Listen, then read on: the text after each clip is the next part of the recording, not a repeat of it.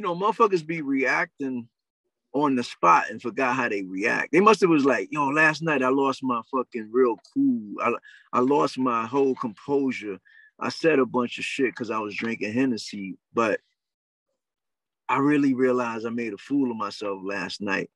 You know, and that's what happens with a lot of these motherfuckers. They forget a lot of shit. You know what I'm saying?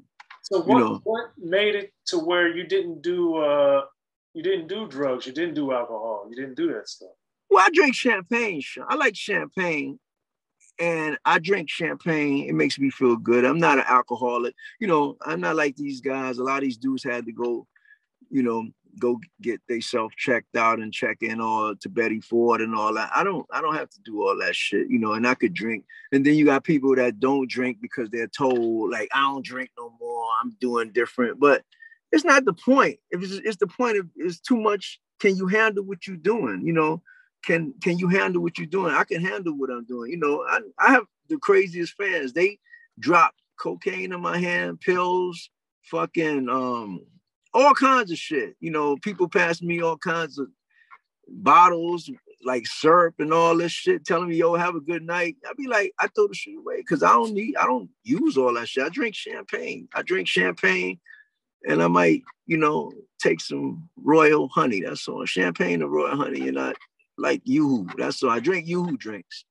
And but I don't need all that shit to function. You know, these guys got a certain way they feel they need to function. You know, it's just like, you know, it's just like the, the songs, you know, they gotta get a certain high to get a sound. You know, they gotta feel like if I get fucked up, that's gonna be my sound. You know, it's gonna sound like I'm fucked up. So then they want people to adjust to the sound. Like this is my fucked up sound. This is how I sound. Like I got that fucked up sound. That fucked up. I'm drinking. You know, that's what people want to sound like that, but to each his own. I'm not into that shit like that, you know, but yeah, that's what they thrive upon, you know.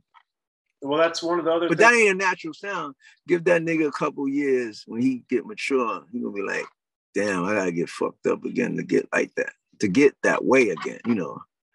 You know, yeah, because even on uh, back to Bust the Facts, you were talking about no uh, no smoking or sniffing. So yeah. Yeah, I don't, I don't, you know, I don't need all that shit to make a song. You know, I'm a natural song maker. You know, I see how a lot of people function. You know, I've been around different shit. You know, I work with Roger Troutman and stuff, and I like Roger Trump, Troutman. He was a great person, you know, and I like the way he get down in the studio. Like he was that vocoder shit is originally him. You know, you don't see a lot of these dudes, you know, giving that out, giving that, giving that out. You know, Roger Troutman was the king of that shit. You know. Yeah. When. I worked on Black Elvis with him, you know, he's the king of that talk box shit.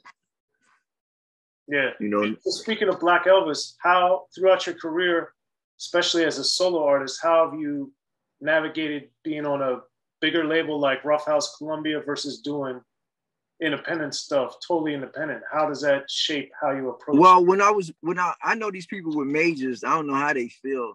I know when I felt with a mate when I was with a major, I felt handcuffed. Like that was the worst situation. You know, when even when I was locked in Sony one time, it, it, it feels so different when you're in a major. It feels like you married somebody and you're trying to get a divorce and you don't like the woman or whatever and the the record label feels like that. But when you're independent, that's why I like the Bay Area a lot too, because I think artists did a lot of little independent deals up there and they had that freedom to make records and stuff. Like everybody up there, you know, all the labels and stuff, they were just like, you do an album, you know, all of them guys had albums and they just dropped their songs. And, you know, I liked it, that feeling, you know, even when I was, when I had Dr. Dooom up there with um a distributor, it was just a good feeling to put out records and then you put another record out. Like, you know, it was like a, a pigeonhole. You know, some of these artists is signed and they can only do stuff under the label. It's like you gotta tell that label every time you go somewhere. Like I gotta like even when you want to do a, a, feature, you gotta do something. They get a part, you know, they get a part cut of what you're doing all the time. Everything is gotta be done through a strict a strict rule you know, it's like a pimp. You know, sometimes a label could be like a pimp. He wants your money. You know, he send you out You know, you work the street, you do the John, you gotta bring the pimp back a little cut. You know, the label is like he's the pimp, and you know, you got the skirt. you had a skirt. You know, and all these dudes with big distribution deals too, they just a bigger, bigger whore. It ain't like you a lighter whore. You just you're a bigger whore, but you still got a bigger pimp behind you. That's all. You just got a bigger pimp with a bigger car. That's all. All that shit about uh, you know, you got your own label, you just got a bigger, you just got a bigger pimp. Well, there it is. You got a bigger, you got a bigger motherfucker to give the smack to. That's all. It's just that he got a bigger Eldorado than the other dude who just drives a little 190 Cadillac. I mean, a, a little baby STS. That's all. You just got a bigger pimp. You got a bigger pimp smack you around. all right, well, Kool, Keith. you got a bigger pimp, motherfucker. You know what I'm saying? Yes. So well, there. Cool. So I mean, anytime you want to talk to me, you could talk to me. You know what I'm saying? Yeah, yeah. you know, you know, and it ain't only the girls, Sean. You ain't got to be a girl to work the streets. that is true. That is true. you know what I'm saying? And you and we could put jewelry on you, and you could work it with your jewelry. You put you, we get your Ferrari. You still you still got a skirt on.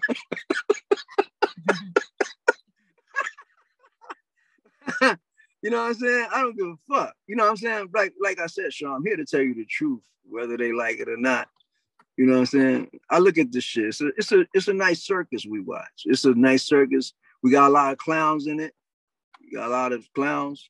That's we got a lot of motherfuckers that's working the flying trapeze, all kinds of shit. You know what I'm saying? That's, that's how I look at this. That's how I look at the shit. You know what I'm saying? Well, so, so it, it, it's it's all good. You know, it's like you said, we you just got a bigger pimp, but a bigger pimp over you pimping to work your little horse. That's how I go. You know, all all this shit is, you know, that's how it's painted. That's the way it's painted. Because when you see when you see that little name is on shit, it just be them little tiny names sitting above your name. That little tiny name is your bigger pimp. I don't give a fuck if it's Interscope. I don't give a fuck if it's uh we could go all day down the line. Universal, all all that shit. Yeah. You know what I'm saying? So I mean, Sean, you paint the picture. Yep. All right. Well, anything else before we go? Uh, you know, like you said, I'm working on Broadway Billy. You know, I got a nice video coming out too, soon be coming out. The uh you're gonna see this video, video surprise. You know, uh, definitely a big video surprise. You're gonna like, you know, everybody should be looking out for it. It's a movie.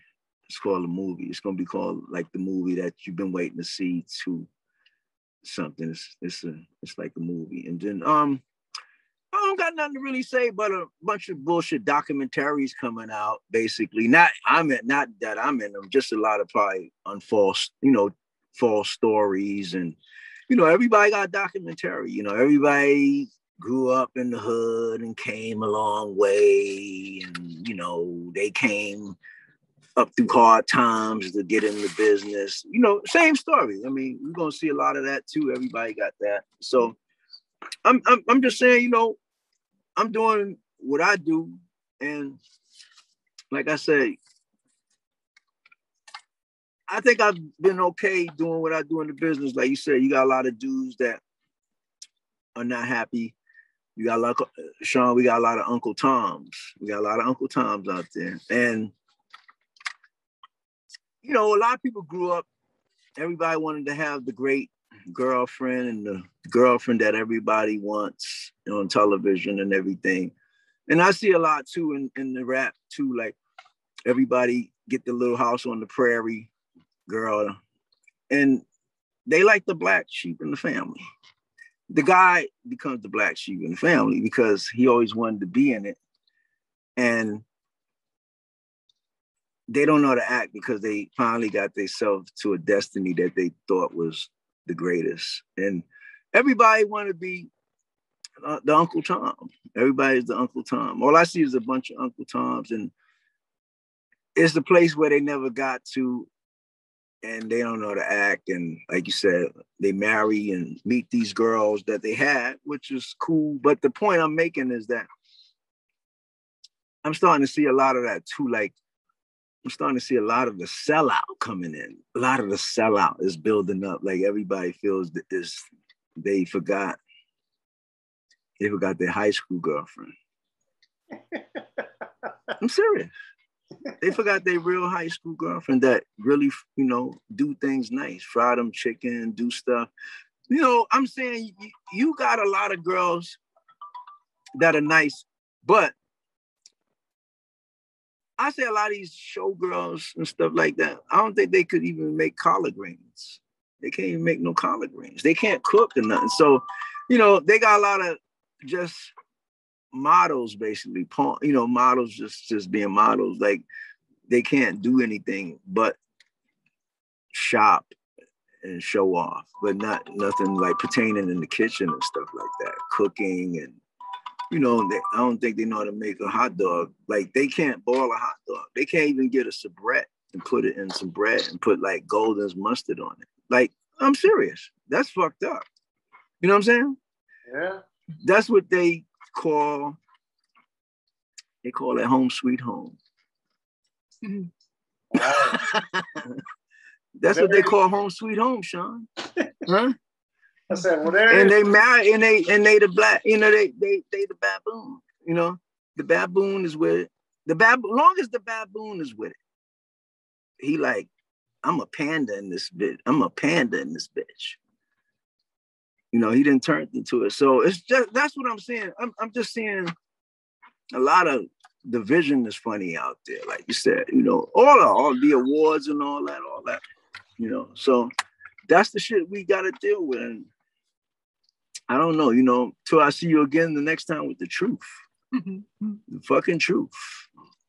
Bust the facts, man? Bust the facts? Bust the facts, man. Tell them put the facts up in their head and facts it up. There it is. Tell them to All facts right. it up.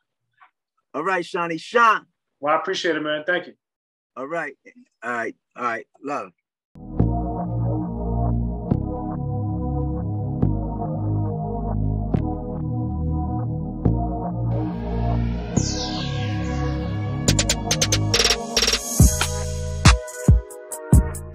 Be sure to check out the history of gangster rap by Soren Baker. He's official. History of Gangster Rap features exclusive interviews with Ice-T, Snoop Dogg, MC Ren, the DOC, and dozens of others. The History of Gangster Rap, a definitive look at how Los Angeles changed rap forever. In Los Angeles, the streets definitely set the tone of the hip hop music. A 19, I got a $50,000 car. My whole angle always was I'll be street, but I will always tell you the horrors that go along with this life. It will be penalties and casualties for just wearing the wrong color in somebody's neighborhood. And once gangster rap made it from the streets to the TV, the genre exploded. With Fab Five on Yo TV back with NWA. Yo MTV, it just catapulted us from being local heroes to national gang bang rappers. The history of gangster rap discusses it all from 1980 up till today. It's always gonna be shit happening in the streets.